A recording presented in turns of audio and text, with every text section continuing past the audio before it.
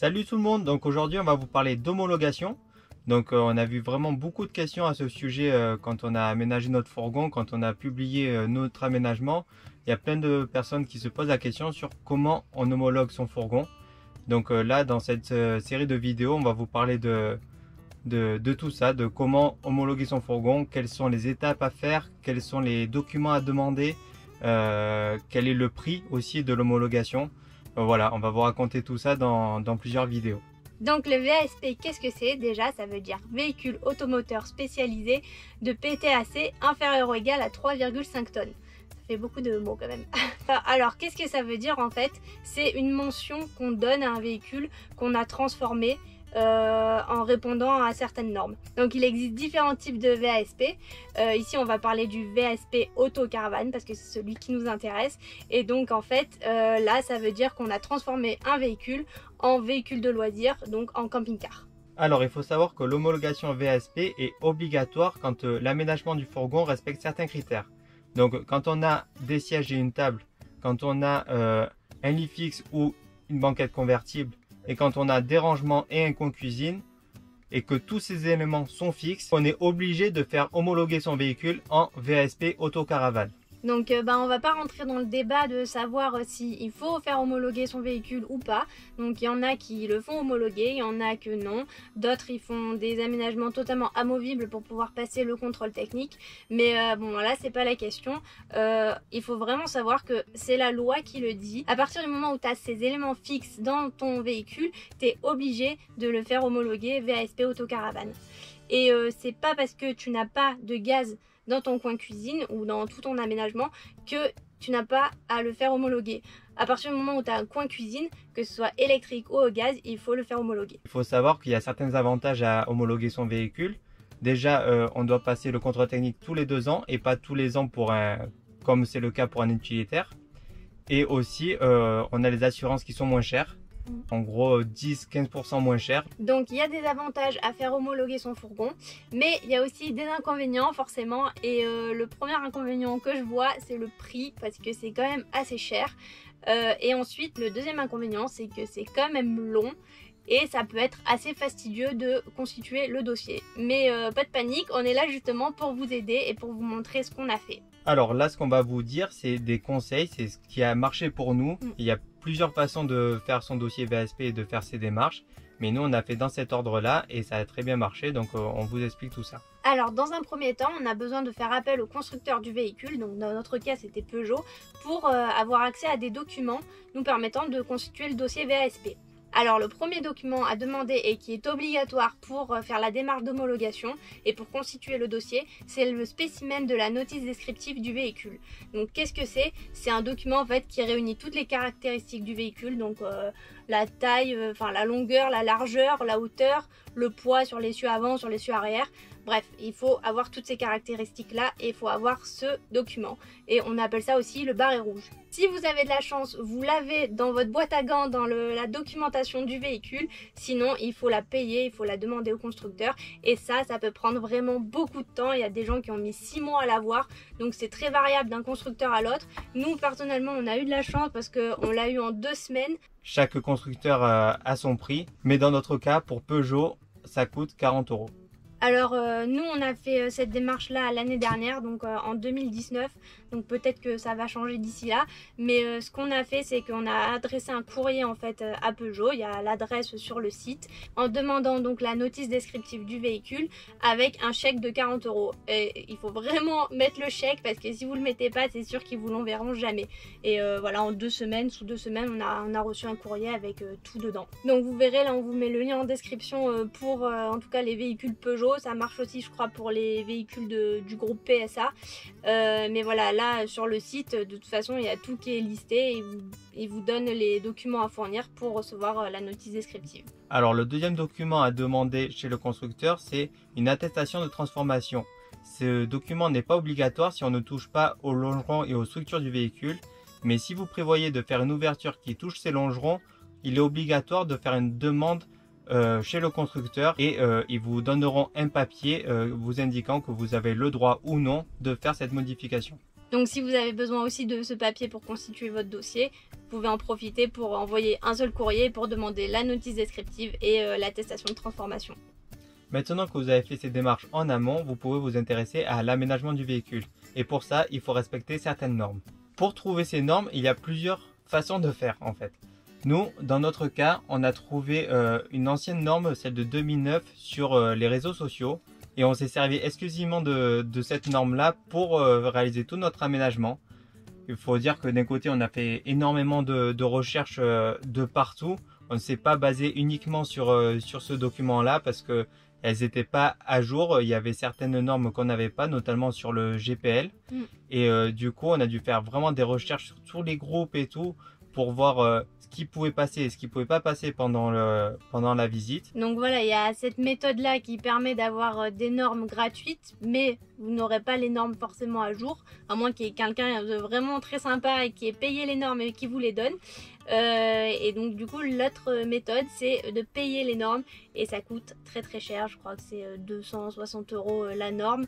Et il y en a plusieurs parce qu'il y en a une pour le gaz, il y en a une pour l'aménagement lui-même, une pour l'électricité, donc voilà ça peut vite chiffrer. Deuxième méthode gratuite pour consulter ces normes c'est de prendre rendez-vous dans un centre AFNOR il y en a un dans chaque grande ville et de les consulter sur place. Donc une fois que vous avez fait votre aménagement selon les normes, vous pouvez prendre rendez-vous avec un organisme agréé pour obtenir un certificat de conformité. Donc le certificat qui euh, montrera que vous avez répondu à certaines normes. Alors ces organismes, il y en a deux, il y a Caligaz et il y a euh, Bureau Veritas.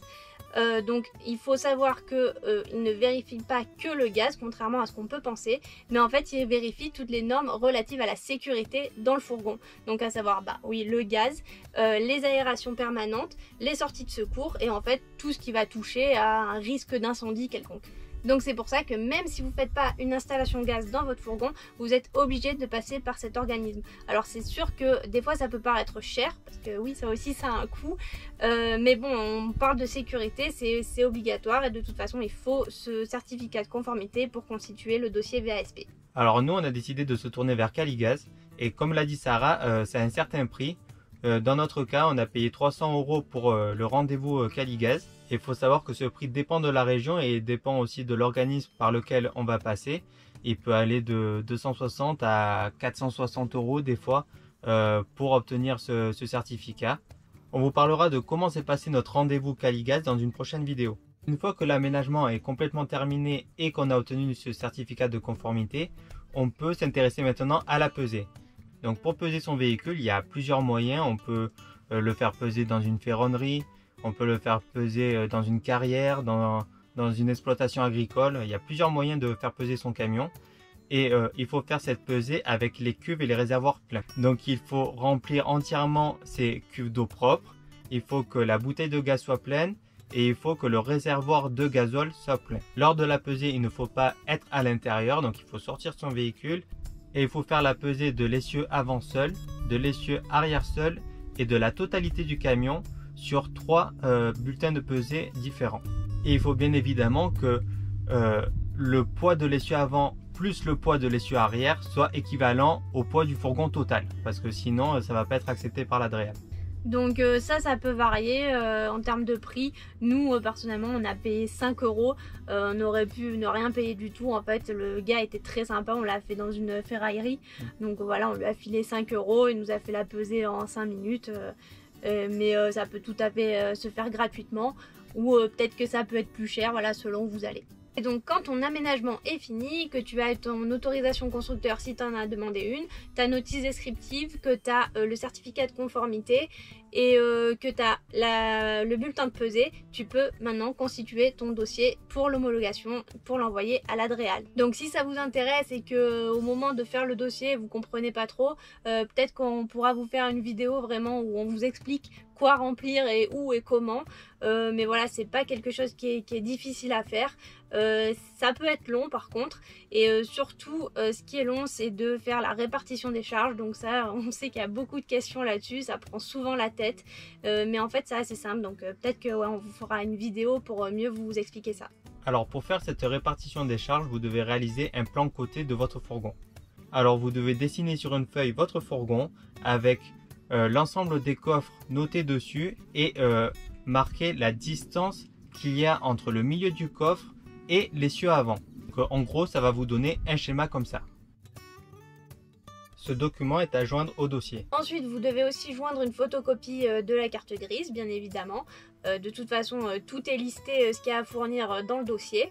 Et puis aussi, il va falloir donner un contrôle technique valide. Donc, alors on ne sait pas trop, des fois c'est un peu ambigu.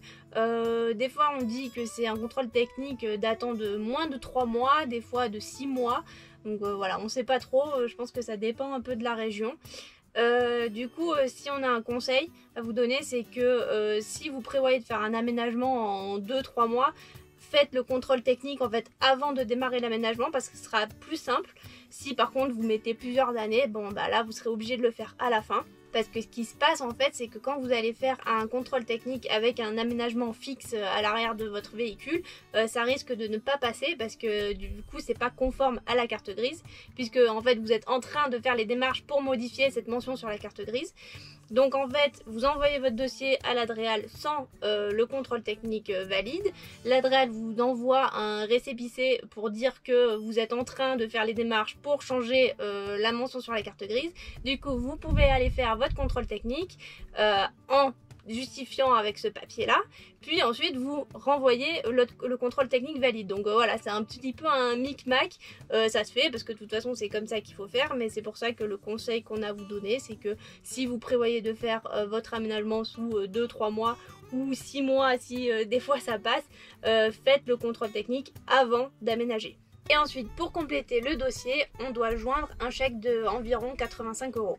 Une fois que vous avez rassemblé tous ces documents et que vous avez complété le dossier, vous pouvez envoyer le tout à l'Adréal. Nous, on a préféré l'amener en main propre, mais vous pouvez aussi l'envoyer par courrier. Et une fois le dossier déposé, donc il n'y a plus qu'à attendre. Nous, dans notre cas, on a attendu euh, deux mois, je crois. Et euh, en fait, euh, ils vont vous appeler pour fixer un rendez-vous pour passer le contrôle VASP. En attendant qu'ils vous recontactent, il y a une dernière chose à faire. Il faut réaliser une plaque de transformation. Elle doit contenir le nom des transformateurs, donc dans notre cas c'était nous deux. Elle doit contenir le numéro de châssis du véhicule. Donc ce numéro, on peut le voir sur la notice descriptive du véhicule. Et le troisième élément, c'est euh, le motif RTI, donc le motif de transformation du véhicule. Donc dans notre cas, c'était VSP Autocaravane. Cette plaque de transformation peut être réalisée de plusieurs manières. Elle peut être euh, ça peut être une plaque métallique, ça peut être euh, une étiquette collée sur le fourgon. Euh, nous, on a décidé de faire une plaque euh, en aluminium. On est allé chez un cordonnier qui nous a fait cette plaque de transformation. Ça nous a coûté, je sais plus, 45 euros, je crois. Ça fait une belle plaque aux normes pour la transformation et on l'a fixée sous le capot. Donc attention, ça aussi, c'est indiqué dans le dossier. Il y a une certaine norme de taille à respecter pour pour faire cette plaque. C'est pas juste une petite étiquette euh, collée, c'est vraiment euh, il y a une police et tout à respecter euh, pour que ce soit bien visible en fait. Donc voilà les étapes pour pouvoir constituer son dossier pour une demande d'homologation. Donc comme on a dit, c'est pas très compliqué, c'est juste que ça peut être extrêmement long et que surtout il faut s'armer de patience. nous, voilà, l'étape la plus longue, ça a été en fait d'attendre une fois qu'on avait déposé le dossier. On a attendu deux mois vraiment sans nouvelles. on les a relancés plusieurs fois, mais bon, de toute façon, il fallait qu'on attende. Euh, donc une fois que votre dossier est accepté, que vous avez eu un rendez-vous et que c'est bon, vous avez pu homologuer votre fourgon, euh, il reste une dernière étape à faire, c'est celle de changer la mention sur la carte grise. Donc pour faire la modification de la carte grise, c'est pas très compliqué, vous vous rendez sur le site de la NTS, c'est simple, c'est tout expliqué et euh, vous pouvez faire la modification de votre carte grise. C'est pas une nouvelle carte grise que vous allez faire, c'est bien une modification et pour nous ça nous a coûté 58 euros. C'est l'équivalent d'un cheval fiscal euh, de votre véhicule. Donc pour constituer votre dossier VASP, vous avez besoin du coup de remplir le dossier. Et vous devez ajouter un contrôle technique valide, la notice descriptive du véhicule, le plan côté, la répartition des charges, une attestation de transformation ou d'autorisation du constructeur si vous en avez besoin, un bulletin de pesée, un certificat de conformité Caligaz ou Veritas et euh, un chèque de 85 euros et puis faire faire une plaque de transformation. Donc voilà, en tout, nous, en gros, on en a eu pour 490 euh, euros. Voilà, en comptant du coup la nouvelle carte grise. Euh, donc euh, voilà, là c'était vraiment pour vous expliquer toutes les démarches à faire euh, pour homologuer son fourgon. On vous fera une vidéo plus complète sur comment s'est passé notre rendez-vous avec Caligad et surtout comment s'est passé le rendez-vous pour l'homologation VASP, ce qu'ils ont vérifié, ce qu'on nous a dit, ce qui était bon, ce qui était pas bon. voilà pour que vous ayez plus une vue d'ensemble. Allez, à bientôt pour la prochaine vidéo.